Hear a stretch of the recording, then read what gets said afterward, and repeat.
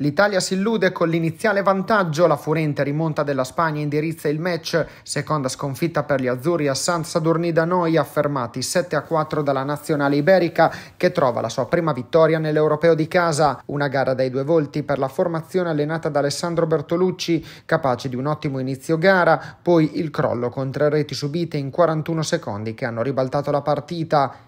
Nella ripresa sfida più equilibrata, ma non è bastato per recuperare il gap. Con questo stop, il secondo nel gruppo A degli europei, si conclude la fase a gironi. L'Italia termina al terzo posto dietro a Portogallo e Spagna. Questo risultato porta all'accoppiamento con Andorra nei quarti di finale. La partita si svolgerà giovedì 20 luglio alle 16. Tornando alla sfida contro gli iberici, buona prova di Andrea Malagoli, una rete nel finale di gara per l'attaccante del Trissino, una traversa e contributo decisivo nel vantaggio azzurro con un tiro deviato in porta da compagno che ha aperto le marcature nel match a quota 2,29.